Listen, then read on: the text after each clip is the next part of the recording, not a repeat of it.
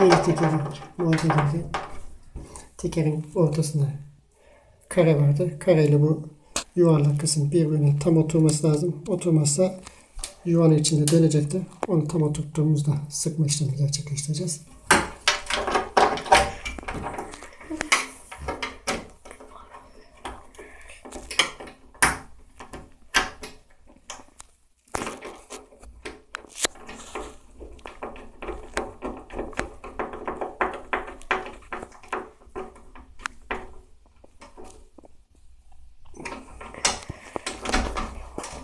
Oturttuk.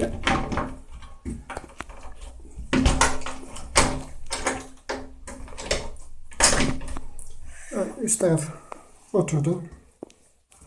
Aşağı tarafta ise başlat.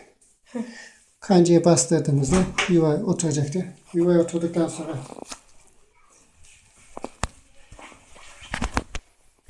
Başla. Kapağı kapattığımızda kapağın alt tarafı tam oturup üst tarafı arada boşluk kalıyorsa onun sebebi üst tekerleğin ayarının uygun olmaması. Özellikle şu arka taraftakinin e, aşağıda kalmasından dolayı arası açılıyor. Bu ayarı yaparken bunu bu kadar sıktığımızda o mesafenin kapandığını göreceksiniz. Gördüğünüz gibi mesafe kapalı.